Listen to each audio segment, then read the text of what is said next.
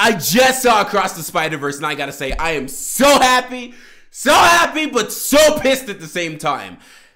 This is not my movie of the year, which which I'll explain later. This is no spoilers right now. I'll explain it later, but this is not movie of the year for me.